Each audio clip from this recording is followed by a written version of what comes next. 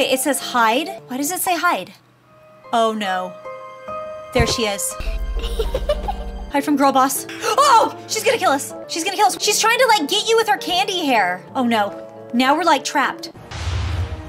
We can take her on. We can do this. Oh, she got me though. Um, help. Oh, well that was lucky. The chandelier came down on her.